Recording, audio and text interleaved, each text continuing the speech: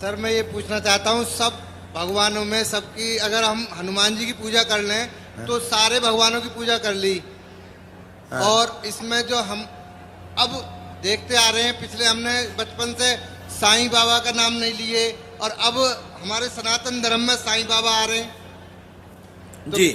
तो क्या हम साईं बाबा राम हो गए या राम को ही या हनुमान जी? कोर्ट ने अभी कुछ दिन पहले ही एक जवाब दिया है सुना आपने? नहीं। बड़ी गलती कर दिया। कोर्ट ने कहा है साईं बाबा सनातनी नहीं है जी जी। हिंदू नहीं है और शंकराचार्य जी से माफ़ी भी मांगी है। सर यही सुनना चाहता था मैं बिल्कुल आपसे। मैं खुश हुआ। साईं बाबा भगवान नहीं है। जी बिल्कुल। इंसान कभी भगवान नहीं हो सकता इंसान गुरु हो सकता संत हो सकता महापुरुष हो सकता भगवान नहीं हो सकता राम राम है Hanuman Hanuman Hanuman I agree with you sir. Balaji Maharaj आऊँगा। आपसे मैं बहुत खुश हुआ।